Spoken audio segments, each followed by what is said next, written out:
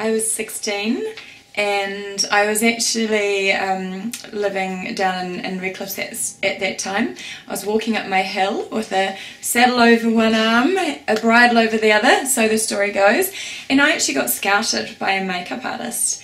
And I thought, what is going on? I certainly was not model material. It was kind of like a funny roundabout story. My dad had a photograph of me on his desk at work, and he works like a newspaper.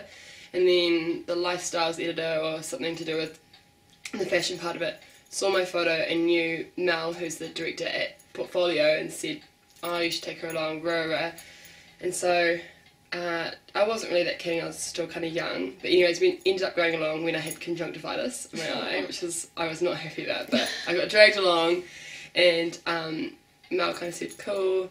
Um, I really like you, Rara. I might send you along to a casting right now. And I was kind of like, Eek, oh my gosh, I've got a funny eye. And ended up going along and booked a job. I first became involved when I decided to do um, pitch because it being advertised everywhere, and me and my friend decided to do pitch, which was a um, fashion show going on at CPIT, and um, and I did that, and that was like my first runway kind of thing, and that was really fun. And um, the girl, a girl there at the time, Deliana, who was um, Miss New Zealand at the time, she um, she spotted me and asked me to do one of her shows for her, um, where Mel, our agent, was in the audience, and um, she um, after that came up to me and um, asked to have a meeting with me, and then from there I got signed.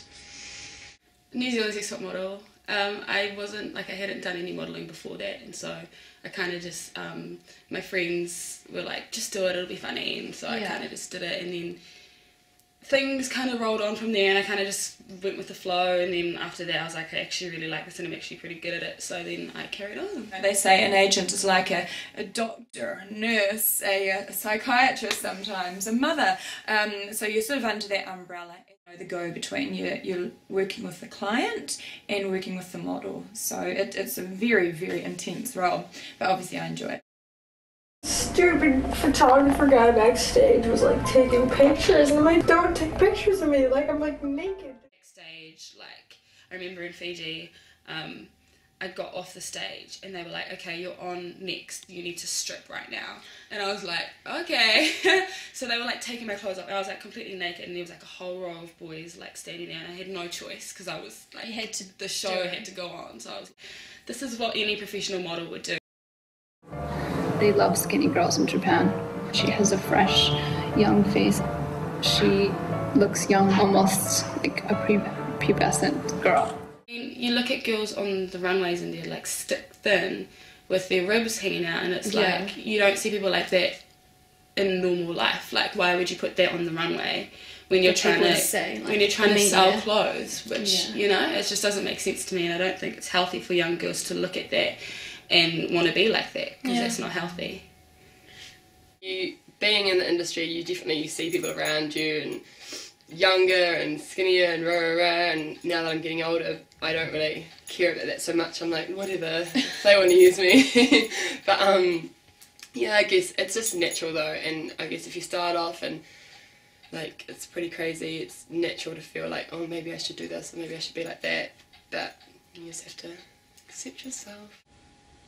The size issue when it comes to models, if you wanted to go overseas, then yeah, you kind of you do have to be a lot thinner. And for some girls, you know, they're naturally skinny, and that's so lucky for them. But for some girls, if you're not naturally like that, then it can be really difficult. Just because you know, if you're not built that way, then you're just not. And yeah, you kind of have to make some sacrifices. And I suppose it just depends on whether, whether you're willing to take those or not. I think that if you are obviously overweight, like if you if you are obviously gaining a bit of weight, Yeah. and they tell you to just lose like a few pounds Like to get more not- toned. or- yeah, or like they're asking you to be a reasonable weight, to be toned, to go to the gym and be healthy about it, then I think that's fine. You should treat that as your job. Um, but I remember I met with a um, Paris agent in Auckland like a few months ago, and she um, like hated me. Mm, What we ask for here in Christchurch is tone, tone, tone. Just um, healthy diet, healthy, you know, eating as well, um, but exercise. You know, I mean, sometimes we could be looking for a girl that's a size twelve, but a healthy, toned size twelve. Um, our market here in Christchurch is not skinny, skinny. So sometimes if you're more of a six to an eight, you'll struggle to work here. Just mainly because our, our clients are, are after girls that may be a little bit older, therefore a little bit bigger in size as well. A good standard size here in Christchurch is, a, is probably a size 10. Um, however, you know, your international markets are more of a, a good size 6 to 8 as well. Very exciting at first, and then there's sort of an emptiness that comes with it as well. Younger can be really intimidating. So if someone, if just one person reaches out to you and is like, hey, like, you're doing alright? How you going? highlights throughout my modeling um, career is when I do well. Like if someone's like, "Oh, you did really well at this casting," or "You looked really great in that photo shoot," like that's always a bonus, and I always feel really good Yeah. after that. Encourage other people and yeah, have fun with what you do, enjoy what you do, and you'll be good at it.